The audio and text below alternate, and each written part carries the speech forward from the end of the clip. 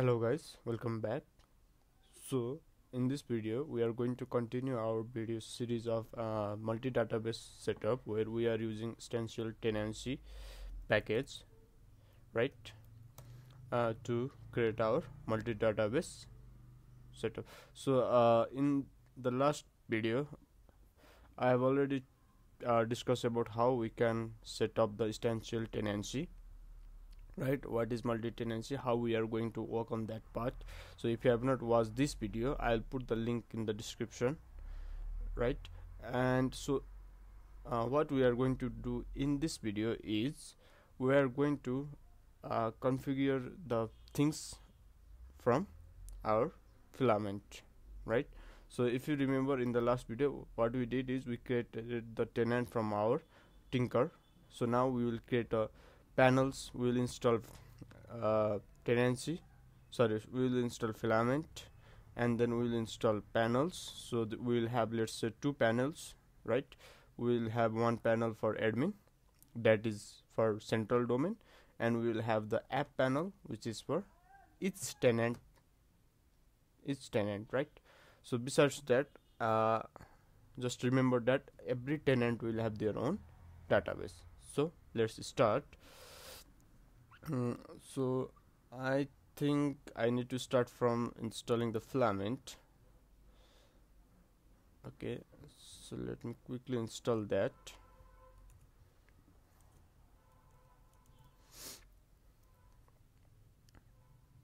So let's first install the package then let's install panels. Okay. So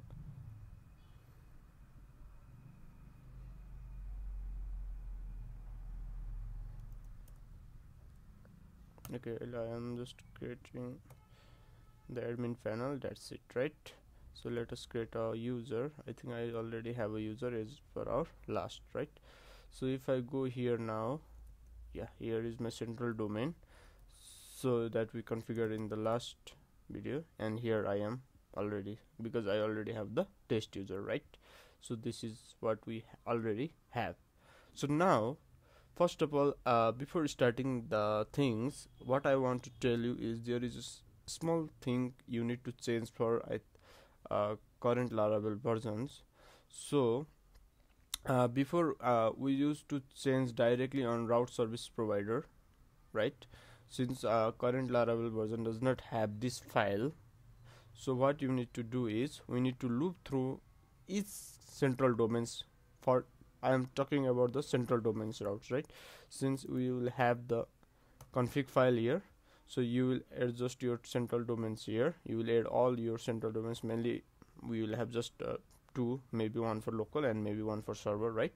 So we'll just add here. So for now if you check here my central domain is this multi-tenant app.test so I have added here. So and we'll loop through each of them and then we'll just group through domain and then we'll just add the routes so that it can be it can it will work for each of the our central domains. Perfect. So okay let's start. So first of all what we are going to do is we are going to create a uh, tenant resource quickly. So um, filament resource tenant right here is it it is. Let me refresh yeah we get it. So I also already have the tenants as we created on the oh sorry.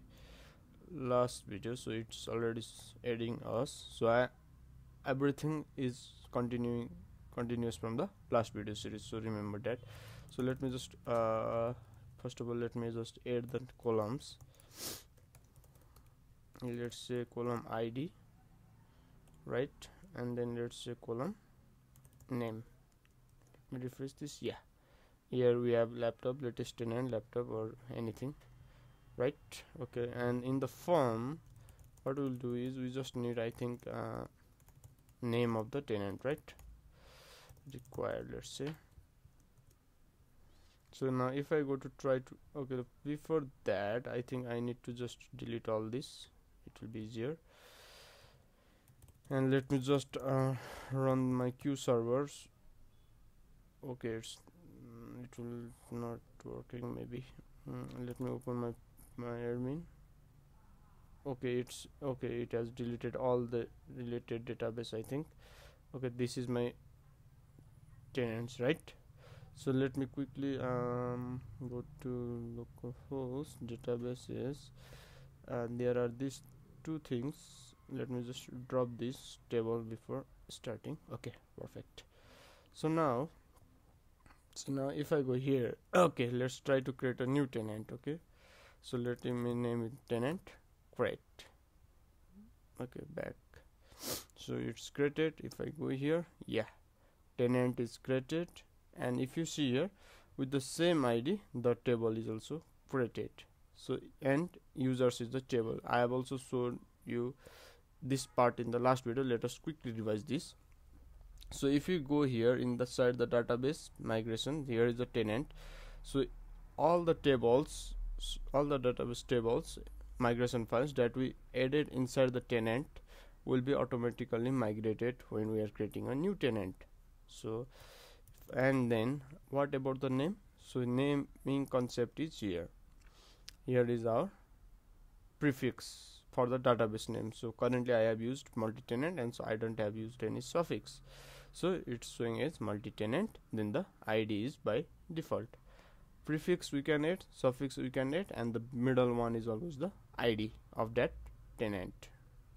Right? If you see a2ef a2ef it's the id perfect. And if you want to show any other things like here you can always utilize this data and you can show here if for example if i want to show okay let's remove for that. Let's not waste this time because i have already explored this part. So let us quickly add the part for domain right? So it will be obviously from the relation right? So I will just create a filament relation. Quickly make filament uh, relation manager domains. Uh, I think what what the things oh make filament oh I mistake misspelled filament. Fila m e n t right? Yeah uh, resource is uh, tenant. Relation is domains right? Title let's name. Okay it should be domain. Okay leave it. So let me just like first of all import here. Let's say tenant resource. Yeah we have domain. So domains relation manager so i am quickly uh, working on this so, right because i have already discussed these things already. Right? Yeah here is this. If I go to domains relation it should be I think not name domain because domain is our name there and it should be also domain. Refresh. Now if I create the domain let's say tenant tenant dot uh, multi tenant app dot test. That's it. Right? And if I go and open this yeah here is that my ID so this is what we have done up to now right? So now let's add a panel for this part quickly. Okay? Because this is the things that we have done in the last video using tinker so let us move further. Make filament panel. Let's say app panel. Right? Yeah. And it should have login.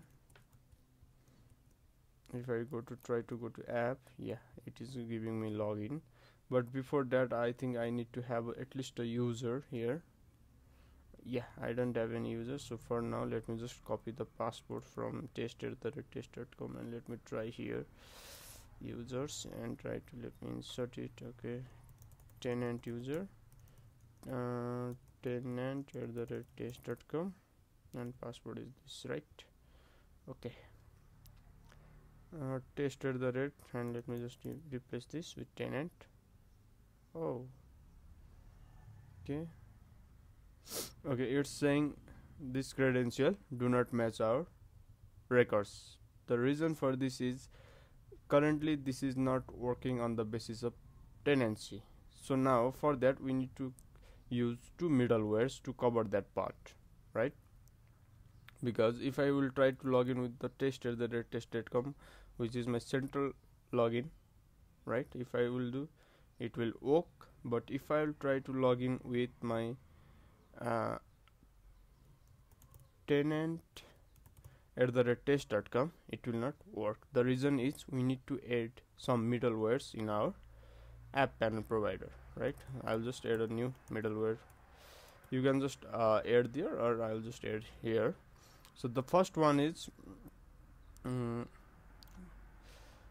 identify oh I just forgot the name of the middlewares let me just go to app service provider.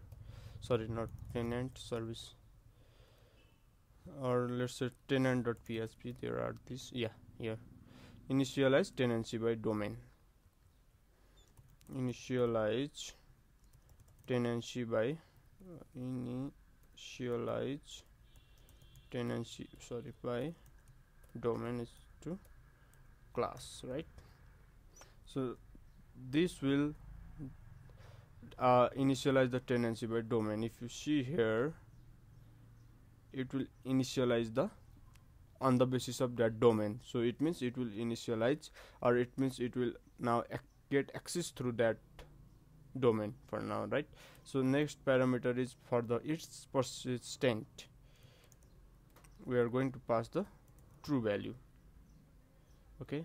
So let me try okay now if you see there is at least some changes right? So now for this uh, for the raw assets so here if you see there is a asset setting yeah here. Uh, by default asset calls are made multi-tenant too because assets calls are made multi-tenant too. So we don't need that because the assets is for all the same thing. So I'm just doing it false. Yeah we are back. And let me try now. Tenant at the rate sorry let me just test.com and test. And if I try to login yes. That's it. This is now if you see I am just logging on the both users but with uh, sorry both panels with different user right? Tenant user so if I will try to log in with my central domain let's say test at the rate test.com no it's not giving us because it's protecting us from being access right? So if I try to log in here then with my tenant at the rate test.com what will be? Yeah. So see uh, it's not working here too. That's it. So that's all for this video so let's revise at once. So what we have done is that mm, okay let me just log in with test. Oh. Tested the tested yeah. So uh, I think yeah that's all for this video. So uh, in uh, we are going to explore many things uh, on this video series right? So but uh, so I think in the next video what we are going to do is we'll just add a user from here right? Like manage tenant users right? Meaning that we can we will list all the users of that tenant right? Or we can create the new user from this admin panel and for now we'll just work on the user parts but if we want we can also explore the different parts like uh, managing tenant setting from here right? Or managing tenants roles and permission from here from the single uh, from the main admin panel. Obviously it will be inside the our tenant panel obviously right? So thank you guys for watching this video